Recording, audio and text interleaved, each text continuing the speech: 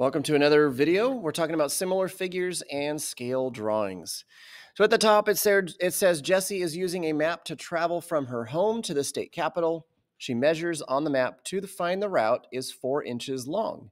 The scale of the map says that one inch is equal to 20 miles. So how could Jessie determine the number of miles she will travel to the state capitol? Well, this should make a lot of sense to you um, if you think about it for a moment. If she's moving four inches and every inch is 20 miles, all we're doing is multiplying by four. So we should get 80 miles of travel. So this leads us into what we want to talk about today, and that is finding scale drawings. And I like to use the uh, the analogy or the example of if you look at a scale model a scale model, whether it's a car, whether it's a building, whether it's a Lego figurine, they're all mo- they're all scaled down from the original. So what we want to be able to find today is what if we're missing one side length? Could we find the the height or the side length of whatever we're looking for if we know one other measurement? So similar figures have corresponding side lengths that are proportional and we talked about this in the last lesson. Right? We talked about ratios. So this is the same idea today. We're looking for a proportional rate. So when two figures are similar, a proportion or scale factor, we talked about scale factor in the last video, can be used to find the length of an unknown side. Okay? So in other words, what we're saying is yesterday we talked about, well, if I just take this side length and I divide it by this side length, I know the scale factor um, which is going to play a role in how we find this missing length here. So let's talk about how to do this real quick. And I'm gonna I'm gonna have this written up on the board because my handwriting is horrible when I use the mouse. So you'll see what I'm talking about. So let's let's put um, we're gonna put DE. I'm sorry, we're gonna put AB. I, I spoke out wrong. AB over BC. So um, we're instead of working with the new to the original, we're working with the original. So here's my ratio, AB over BC, which is 6 over 8. We're going to make that equal to DE over EF. So um, this side length corresponds with this side length, which is why they're both on top. And then this side length corresponds with this side length, which is why they're both on bottom. Okay, now let's plug in our numbers there. So we have 6 over 8 equals 4 over, I don't know, let's call it x. And if you remember in the past, we've done cross multiplying. I realize some of you still struggle with that. Cross multiplying, it, all it really is, is just, hey, we're going to multiply opposite numbers. So 4 and 8 are going to be multiplied, and then 6 and x are going to be multiplied. So that would give us 6x equals 32. 8 times 4 is 32. And then all we're going to do is solve for x. So if you divide both sides by 6, you're going to get x equals 5.3. So what that means is if I'm scaling down from 6 to 4, then this side length also has to scale down from 8 to 5.3. Okay? And I realize that's not a nice number. It's not a whole number. Um, but if we're scaling down at that rate, that would be our number. Now, please be careful because I often have students that go, well, but I went from 6 to 4. That's only two difference. So I'm probably only going down two here. So it should be six here, but as you can see, that is not the case. All right, let's do a couple examples of what this might look like. So number one, we have trapezoid ABCD is similar to trapezoid QRST. We're going to be looking for this side length right here, RS. We're going to call that X. Okay, so now let's think about our corresponding sides. Now what you put on top is not of importance. You can put the X on the top or the bottom, but I always like to start from the top down. So I'm going to do 2.8 over 1.7. Now, we're only given two measurements here, so we can only use those two. But as you'll find out later on, if you look forward to number two and number three, we do have, we typically have more than two options. So we're going to use the two options we're given here. Now, 2.8 or BC corresponds with what side length? It corresponds with RS. So that means my X is going to be on the top and AD corresponds with QT. So 5.1 will be on the bottom. So hopefully you can see why in the last lesson we talked about corresponding side lengths because that's going to be um, the process with which we determine what our missing side length is going to be. Okay, so now you are going to need a calculator, but we're going we're going to cross multiply. So I'll write this down step by step for you. So we're going to do 2.8 times 5.1, which would give us, uh, we're going to write this out 1.7x equals 14.28. Okay, and then we're going to divide by 1.7 because we want x by itself. So divide by 1.7, and we're going to get 8.4 as our answer there. And we'll put meters since it is a side length. Okay, so 8.4 would be the length there. All right, number two. Number two is a little bit different setup. The perimeter of triangle GHI is 40 centimeters if the triangles are similar, then what is the length of JL? So you may be looking at this going, but Mr. Warren, we already know both the side lengths. Okay, well, that's true, but remember, we're looking for JL. So we want to know this side length here. So do we know this side length here? And you may be looking at me going, well, no, it doesn't say that on there. You'd be right. But remember, it said the perimeter is 40 centimeters. What that means is the distance around the entire triangle is 40 centimeters. Okay, so what that means is I already know these two side lengths. If I add them up, I get 30. And if the whole thing is 40, all I need to do is to subtract to find the difference, which means this side length has to be 10 centimeters in order for this to completely add up to 40 centimeters. All right, I hope that all made sense. Next thing we want to do is set up similar here. Um, so we do need to make sure that we utilize this side length here, right? JL corresponds with GI. So I want to make sure that I incorporate that. So let's do let's do GH, which is 15. My mouse does not want to cooperate. And we're going to do GI, which is 10. And we're going to set that equivalent or equal to uh, its corresponding side, which is 10, and its corresponding side, which is x. Okay. This one you shouldn't need a calculator. I hope cross multiply, you're going to get 15x equals 100. Divide by 15. This is where you may need the calculator. I forgot about that. This gives you a repeater. 6.6 repeating would be our answer for x. So notice we didn't just go down by 5. We went down by less here. So it wasn't it wasn't uh, I have a lot of students that go, "Oh, it must be 5 there." Nope, it's 6.6. That would be our side length there. Okay, last one on this slide. Triangle HJK is similar to triangle LMN. Bethany says there is more than one proportion that can be used to determine the missing side length. Do you agree? Well, we kind of went back and forth in, in, in one of my classes whether we agree or not. I guess we could agree in the sense that it doesn't matter which set of numbers I use as long as I'm using one of the side lengths that I'm looking for. So, in other words, I have to make sure I use HJ because I'm looking for its corresponding side LM. What other number I use, it doesn't matter. So uh, let's go ahead and let's use 10 here. Let's do HK and we'll do LN. So HK is 10, HJ is 8. We're going to set that equal to 25. Did the right? Okay, just making sure. Over X.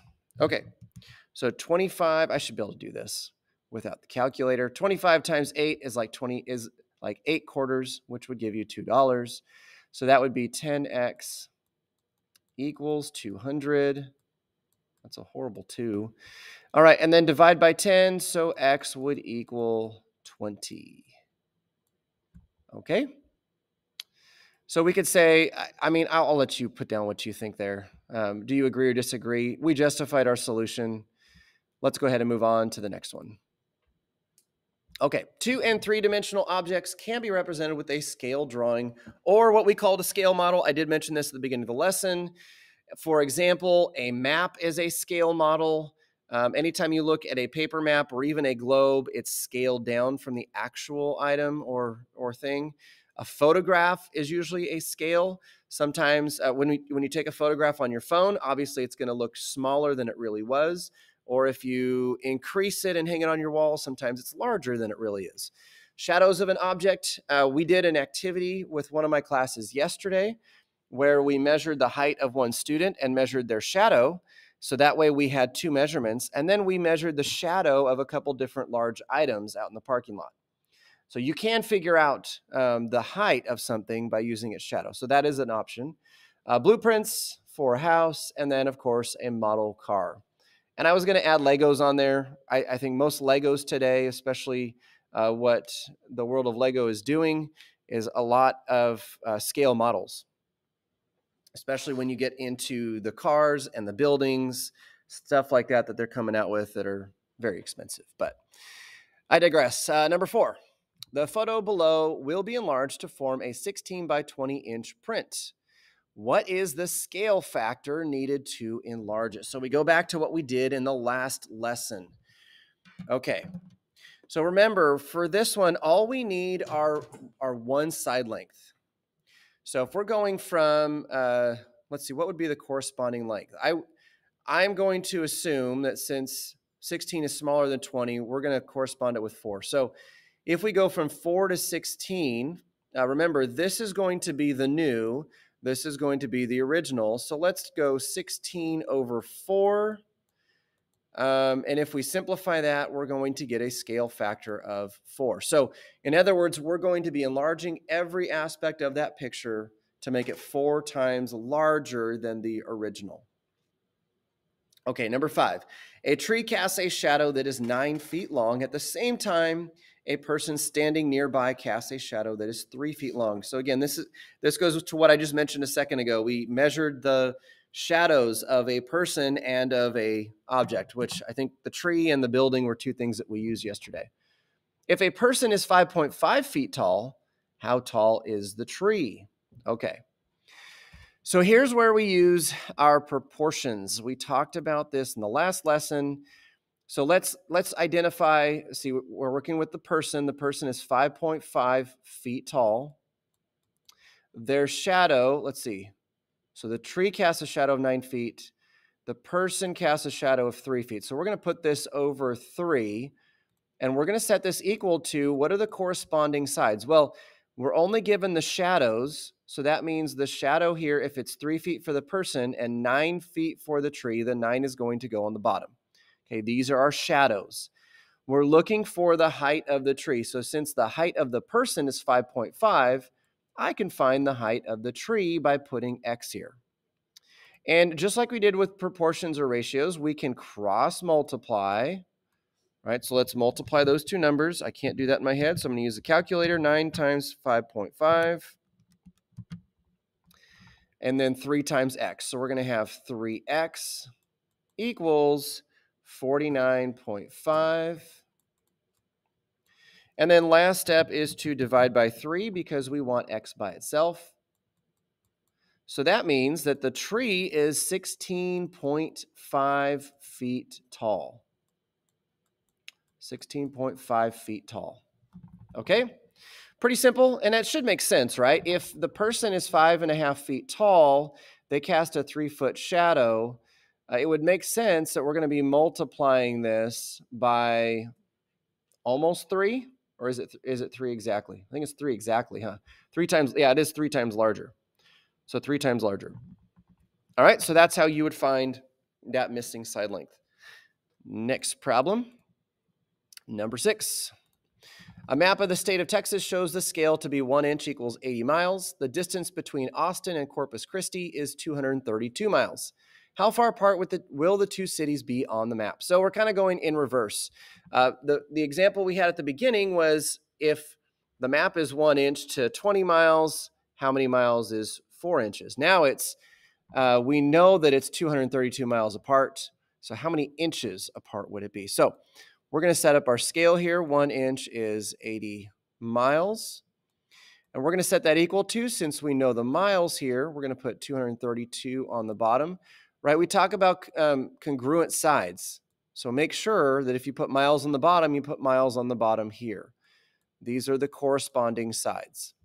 Okay, and then you can just cross multiply. This one's easy because it has the one.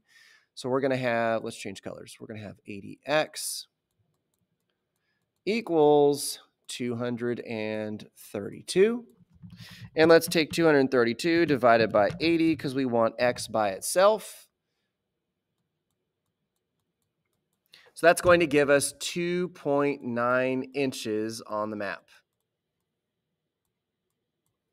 All right, 2.9 inches. That does seem small, but 2.9 inches.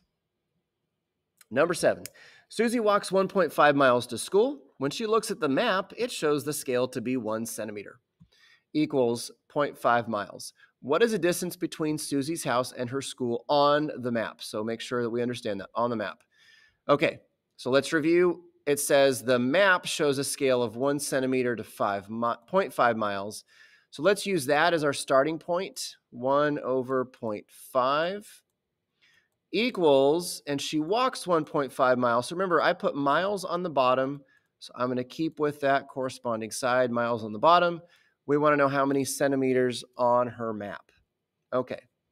So same thing as the last one, cross multiply. This one shouldn't be too bad either since we have a 1 on the top there. So 0.5x equals 1.5. Lost my train of thought there for a second. 1.5 divided by 0.5 is going to give us 3. So on her map, she'll notice that she is moving 3 centimeters. Okay, we are moving along. Number 8, Abby studies a map of Italy that shows a scale of 0.5 centimeters uh, equals 10 kilometers. The Pantheon and the Spanish Steps are 0.4 centimeters apart on the map. The Trevi Foundation is located exactly halfway between the Pantheon and the Spanish Steps. What is the distance in kilometers from the Trevi Foundation to the Spanish Steps? Oh man, there's a lot to this, isn't there? Okay. So, first off, we know we have a scale of 0.5 to 10 kilometers. I made that a lot longer than I meant to. All right. Why did I write that? I don't know. I don't know why I put 10 kilometers. I'll go ahead and write centimeters here just for the heck of it. Okay, 0.5 centimeters is 10 kilometers. Now, the Pantheon and the Spanish Steps are 0.4 centimeters apart on the map. The Trevi Foundation is located exactly halfway between the Pantheon and the Spanish Steps. So we're talking about cutting this in half. What is the distance in kilometers from the Trevi Foundation to the Spanish Steps? So I had to think about this. If the entire distance is 0.4 centimeters and we're talking about going half, then we're going to write this as 0.2, right? Because I I cut this in half. So half of 0.4 is 0.2. And I'm looking for how many kilometers that's going to be. So now we're going to cross multiply. So 10 times 0.2 gives us 2. So we're going to have 0.5x equals 2. And then divide that 2 by 0.5. So the actual distance here is 4 kilometers. 4 kilometers apart. So notice in this example, we actually went down in our proportion which means we also went down the kilometers, but typically we're going up and this number is bigger than this number. So we can go either direction and still get what we're looking for. And I had a couple students do that yesterday where they looked for the shadow of the curb. The curb is obviously much shorter than they are. And I wanted to know if they could figure out using this formula or this proportion, if they could figure out the height of the curb without actually measuring the curb. I don't know if they measured the curb or not to try to cheat, but that's kind of what we're looking at. All right. Number nine, triangle ABC is similar to triangle ADE. Oh, this is fun. These are the ones that students usually hate because ABC is this, this big triangle here, right? And ADE, I'll use a different color. ADE is this triangle within the triangle. Okay, so we know they're similar simply because they're within each other, but this makes for an interesting uh, problem here. So what is the length of EC? So we're looking for this length here. Okay, so how do we find that length? All right, let's see what would be our best course of action? I should have been more prepared for this and I should know this, but give me a second as I think through this. I'm also looking to see if we have that written down somewhere because I think I have it written down. Um,